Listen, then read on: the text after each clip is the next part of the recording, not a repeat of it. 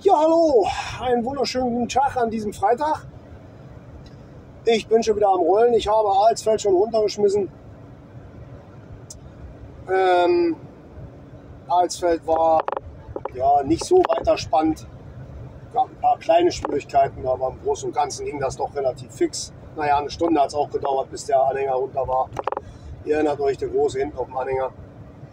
Jetzt fahre ich rüber nach Alsfeld. Da werden wir den kleinen runterschmeißen. Und dann soll ich wohl Ladung haben, so laut meines Auftrages, in Langenhagen und Hannover. Da ist die Firma am Klären, dass ich das heute noch bekomme. Weil das sind Mercedes-Autohäuser und äh, das eine macht um 16 Uhr zu, zumindest der Fuhrpark, und das andere um 18 Uhr. Also schauen wir doch mal, wie das aussieht, wie ich vorankomme. Ich bin jetzt ca. 12.30 Uhr in Alsfeld. Mal sehen, wie lange die brauchen zum Abladen. Vielleicht haben die dann in Alsfeld in Fulda. Ich muss noch nach Fulda. Ich fahre Richtung Alsfeld. Oh, ja, also in Fulda, 12.30 Uhr. Und mal sehen, ob die dann noch Mittag haben oder erst Mittag machen. Das weiß ich nicht. Manche machen von 12 bis 1, manche von 12 bis 12.30 Uhr oder 30 bis 13 Uhr. Alles Überraschung. Also mal sehen, was der Tag so bringt und wie schnell ich heute noch Richtung Hannover komme. Anders sind ja von Fulda auch noch mal ein paar Kilometer da hoch. Das zieht sich ja auch. Sind ja alleine von Kassel schon weit über 100 Kilometer. Also ich bin mal gespannt, wie die Dispo das hinbekommt, ob ich die Ladung noch bekomme. Denn nächste Woche soll es tatsächlich dann nach Schweden hochgehen. Ladebereit ist ab Freitag, Samstag die Ladung. Ja, ich denke mal so ab Dienstag oder so wird es dann hochgehen. Weil am Montag müsste ich ja dann erstmal das von heute abladen. Und dann sehen wir mal, ob das so kommt, wie es kommen soll. Ich bin mal gespannt. Bis dann. Wir sehen uns. So, mittlerweile bin ich dann auch mal angekommen in Petersberg bei Fulda. Äh, bin jetzt bei der Reifeisen, werde jetzt alles erstmal vorbereiten. Die Jungs machen jetzt gerade Mittag. Er wollte noch schnell abladen vor Mittag und da habe ich gedacht, nee, nee, nee, komm, hör auf. Ich muss hier erstmal abmachen, das dauert 10 Minuten und äh, ja, nee, dann mache ich erstmal Mittag. Ich sage, ja, mach du erstmal eine Ruhe Mittag, dann kann ich das Scheiß Ding hier irgendwo abschneiden. Alles gut. Der Lärm hinter mir, die A7. Ja, wir sind also direkt an der A7, die ist da oben, wie man ja so schön sieht. Da, da rauschen sie lang. Also in unmittelbarer Nähe. Ich habe auch schon wieder ein interessantes Objekt gefunden. Würde mir schon wieder gefallen, der kleine Viertschlepper. Ja, leider so teuer. Ja. Naja, aber da, da steckt so Herzblut drin. Das wäre so meine Geschichte. Ja, nicht umsonst habe ich einen alten Ural. ja, gut. Ich werde mal gucken, ob ich das hier positionieren kann nachher. Irgendwie so gescheit, vielleicht von hier aus. Mal sehen. Und äh, dann nehme ich das ab, äh, Abladen vom Motorwagen auf für euch. Und äh, dann gucken wir mal, was mit dem anderen Auftrag noch ist. Ich bin mal gespannt. Ja, nebenbei habe ich gesehen, hier stehen noch ein paar schöne Sachen rum. So ein kleiner Silo King, 9 Kubikmeter Futtermischwagen. Ja, von der Firma Meyer aus Tippmonning. Die fahren wir ja auch. Da bin ich auch ab und an mal. Er ist auch schon wieder hier, ja, Verkauf oder so, ich weiß es nicht. Da steht noch ein älterer Ferguson, der ist zum Verkauf, weil der hat kein Nummernschild mehr dran. Ein schönes neues Güllefass. Von wem ist das denn überhaupt? Deutscher Hersteller, BSA, jawohl. Deutscher Hersteller, BSA. Und hier haben wir noch einen Krampe Big Buddy 540. Älteres Modell, sogar mit Aufsatzbretter oben drauf, also Aufsatzbleche, um die Ladekapazität nochmal zu erhöhen. Und dahinter haben wir dann noch, oh, das sieht aus wie ein Schäfer. Ja, das ist ein Schäfer, Schäfer Hoflader. Wir fahren die Geräte von Weidemann. Ähm, und da steht der Schäfer. Schon etwas größerer. Oh, sogar der 9630, der ist schon verdammt groß.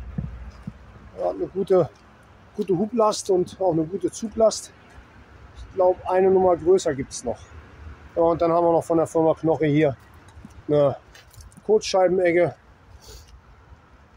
zusammengeklappt. Also alles Geräte, die zum Verkauf stehen. Hier so ein schöner Glas-Liner. Ist das für einer noch ein 2700er? Jawohl, 2700er. Da unten an den Rechen steht es dran. Perfekt. Ja, man sieht, die sind schon in ihre Jahre gekommen. Ne? Die hat schon so einige Schwaden gemacht. Hier noch ein kleiner Einkreisel. Äh, Schwader von Feller, Mähwerk. Und hier ein Zetter mit zwei, vier, sechs Sterne, der also das Gras, Heu und Stroh auch wendet. Also ein sogenannter Heuwender. Man sagt dazu ja Zetter, ne? für die Leute, die es nicht kennen. In Transportstellung. Ja, also hier steht schon ganz schön Gerümpel rum. Ein altes Camperfass, Güllefass. kann man heutzutage. Ja, Pumpe ist ja noch dran, kann man immer noch nehmen für Gülle. Sind auch beliebt als Wasserwagen, um äh, das Vieh auf der Weide tränken zu können, um da alles voll zu machen. Dafür sind die auch beliebt, ja. Ja, und ansonsten hier noch ein Schlegelmulcher. Der gammelt hier noch so vor sich rum. Und dann haben wir da die ganze neue Abteilung BSA, da hinten die Fendt-Traktoren. Ich probiere das mal ranzuzoomen. Da steht die ganze Garde, Fendt und Ferguson. Also alles, was im Akkuverbund ist, äh, hat hier Rang und Namen, ist hier vertreten. Das macht ja die Reifeisen. Ach ja, und hier im Vordergrund mhm, ein gebrauchter Fendt Katana 65, 650 PS. Maishäcksler. Ja, der Name sagt zum Maishäckseln, aber auch, wenn man eine Pickup vorne vorbaut, zum Grasschwart aufnehmen. Und dann kann man das Gras da durchjagen und damit verladen. Das geht auch. Und da kommt er schon mit meinem Waldrad angefahren. So, dann wollen wir mal abladen. Dann hoffe ich mal, dass alles gut aufgeht.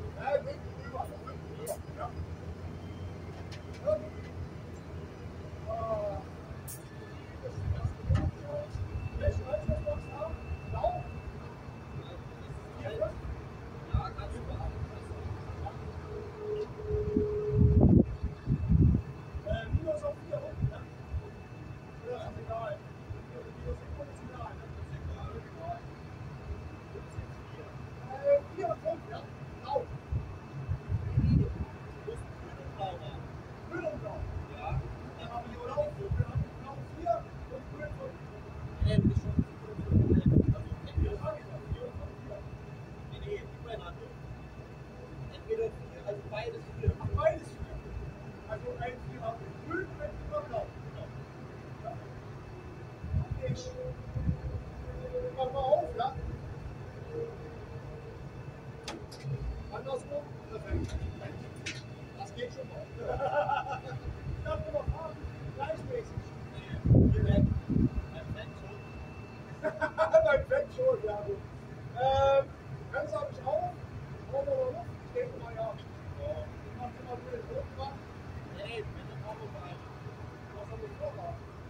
房子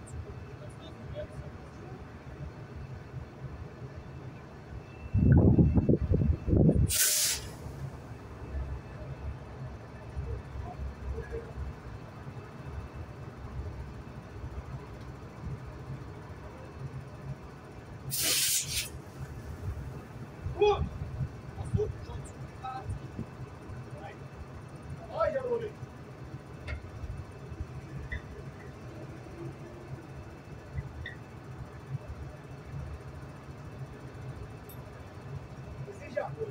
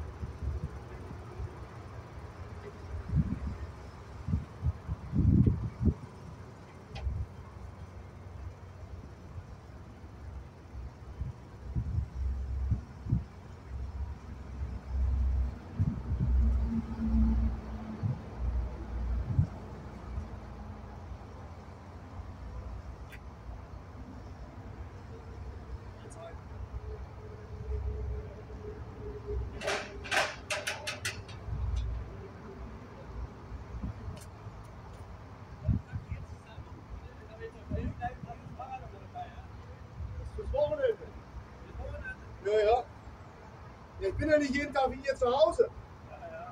Ich darf mich aber zwölf Tage umtreiben. Da sind alle jetzt vorgezeigt.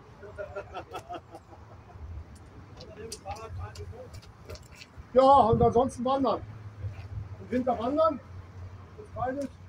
Also kein Fahrradwetter ist, dann geht wandern oder wenn ich keinen Bock habe zum Fahrrad, dann gehe ich auch wandern. Naja, setzt man mal die paar Zentimeter, die so fehlen, ne? Als Lademeter, aber ist mir auch egal. Ja, bei denen manchmal schon. Wegen der Länge, wegen der langen Deichsel. So, ja, wie ihr gesehen habt, war recht unspektakulär. Geht immer recht schnell. Ich hatte auch schon abgebotet, damit das alles ein bisschen flotter geht. So, und dann werde ich mal jetzt nach äh, Hannover fahren. Genau. So, dann fahren wir mal hier wieder hoch, runter vom Hof. Da hinten rückwärts rein, wo die ganzen Traktoren stehen. Und dann, die wollten da ran mit dem Gabelstapler. Anstatt die mal was gesagt hätten, wäre ich da schon längst weggefahren. Da kann man auch noch ein bisschen was rum. Naja. Ja, so rangiert man dann halt hier so mal ein bisschen durch die Gegend, um dann wieder zur Ausfahrt zu kommen, die jetzt von mir noch rechts ist. Da müssen wir gleich mal scharfen Bogen rumfahren. Immer weiter schön nach hinten. So, da haben wir noch einen älteren Fan stehen. Der ist aber noch nicht zu verkaufen. Der hat noch ein Nummernschild dran. So, und dann fahren wir mal hier rum, um hier wieder rauszukommen. Oh, jawohl. Das ist ja recht entspannt. Die haben hier Platz. Heute Morgen die in Marburg. Da musste ich über einen Schotterparkplatz fahren. Rückwärts aus, auf die ihren Schotterparkplatz, wo die Autos alle standen, lang die Autos gedrückt. Das ist so eine kleine Reifeisenniederlassung da in Marburg. Naja, die ziehen jetzt um, nächsten Monat nach Rostorf. Dann hat sich das, Boot hier durch, hat sich das mit denen auch erledigt da in Marburg. Da haben sie neu gebaut. Größeres Gelände, mehr Platz. Hier ist auch nicht schlecht, nur der Wendehammer da unten bei denen vor Tür ist Müll. So, auf geht's, ab nach Hannover. Mal sehen, wie gut wir durchkommen. Wir haben 280 Kilometer, 3 Stunden 48 und schon wieder irgendwo ein Stau. Oh Gott. Ja, zu Schritt nach Stunde. Ihr seht schon, ich bin in Hannover. Wo bin ich? Bei, ah, kann man sehen, Europcar. Europcar, Europcar. Jawohl, da steht's, Europcar. Warum nicht bei Europcar? Weil das mein kleiner Heimbringer ist. Mein kleiner Polo. Hier, die Firma für mich angemietet. Weil, warum? Ganz einfach. Die Mercedes gab es heute nicht mehr, war doch klar. Der eine Mercedes Fuhrpark geht um 16 Uhr nach Hause, die anderen ja, bis 18 Uhr. Ich war zwar um 17 Uhr noch was hier, aber zwei Autos lohnen ja nicht. Von daher hat man das wieder mal aufgegeben. Und somit werde ich dann Montag erfahren, wo es dann hingeht. Also ich bin jetzt erstmal leer nach Hannover gefahren von Fulda aus, um das kleine schnucklige Mietauto in Empfang zu nehmen. Und dann werde ich Montag, ich vermute mal, eine Ladung bekommen, die wohl schon in Richtung Schweden gehen wird. Entweder Norddeutschland, Dänemark oder sowas in die Richtung, weil nächste Woche zum Wochenende hin die Fahrzeuge wohl abholbereit sein sollen. Ja, also lasse ich mich mal überraschen. Mein Dicker steht da drüben, da ist er im Hintergrund. Idio. Direkt vor der Tür abgeparkt, da hatte ich auch wieder Glück, dass das geklappt hat. Das ist ja hier immer in Hannover. Hm, hm, ja, manchmal ein bisschen problematisch mit so einem kleinen Auto einen großen Parkplatz zu bekommen. Aber in diesem Fall hat es mal wieder geklappt, genau vor der Tür von diesem wunderbaren Europcar. Ja, sonst haben wir immer viel Sixt, aber in diesem Falle bot sich wohl Europcar an. Ich bin weiter vorne, war Sixt, die waren schon dunkel um 17 Uhr. Vielleicht arbeiten die schon gar nicht mehr um die Uhrzeit, weil die kein Personal haben, wer weiß. Oder keine Autos mehr, kann ja sein, weil die hatten auch keins mehr. Also wenn du nicht rechtzeitig äh, reservierst, dann wird das nichts. Ne? Ja, da kam wieder ein Anruf rein. Naja, nicht schlimm. So, ich mache mich auf den Weg nach Berlin. Und äh, das wird dann so gegen 22 Uhr sein, denke ich mal. Habe noch nicht geschaut, wie die Autobahn ausschaut, wie der Verkehr läuft. Ich lasse mich da mal überraschen. Auf jeden Fall hier ist jede Menge Verkehr. Und da die Hauptstraße ist immer noch schön zugestaut. Die gammeln da immer noch schön rum. Also von daher, hm, läuft. War ein erfolgreicher Freitag. In diesem Sinne wünsche ich euch ein schönes Wochenende. Macht's gut. Wir sehen uns nächste Woche Montag. Tschüss.